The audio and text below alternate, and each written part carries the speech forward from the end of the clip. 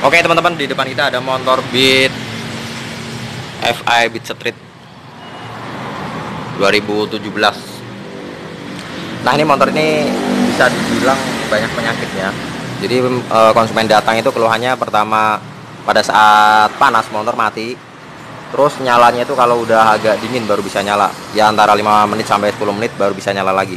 Terus gas pertamanya berebet Dan lain-lain. Nah untuk mengeceknya sendiri ini kan kalau motor injeksi Honda itu ya semuanya sih. Kalau motor injeksi itu kalau ada kerusakan atau kalau ada uh, sensor yang error atau kabel yang putus ya di lampu milnya itu dia akan berkedip berapa kali. Nah caranya kalau motor Honda itu kalian jumper dulu. Ini kabel hijau strip hitam sama kun, uh, coklat.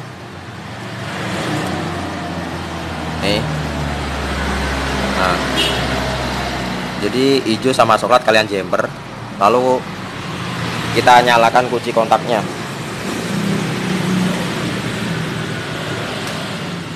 Ngedipnya berapa kali?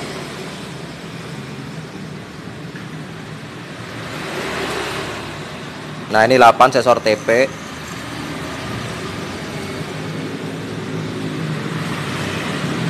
ini 12 sensor injektor 21 sensor oksigen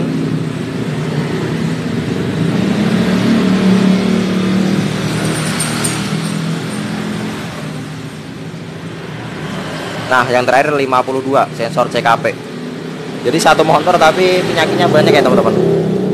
Tapi meskipun kedip kayak ini biasanya eh, nggak langsung apa nggak langsung kita putuskan bahwa sensornya itu rusak nggak.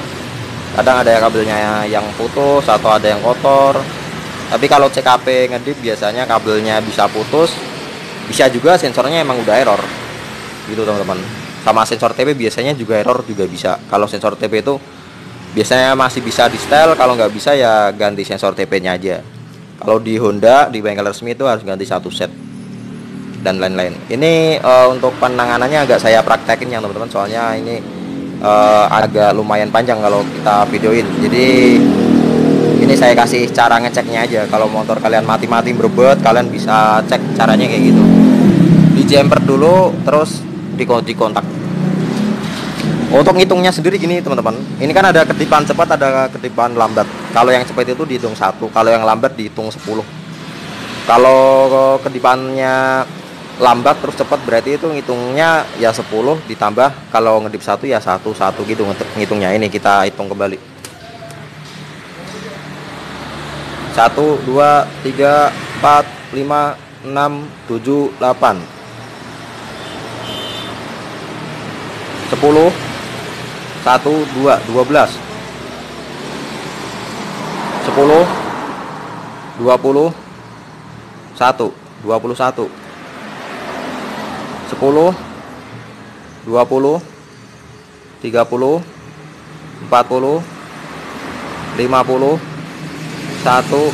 52 jadi ngitungnya kayak gitu ya teman-teman. Oke terima kasih. Semoga bermanfaat. Jangan lupa untuk di subscribe like dan komen. Wassalamualaikum warahmatullahi wabarakatuh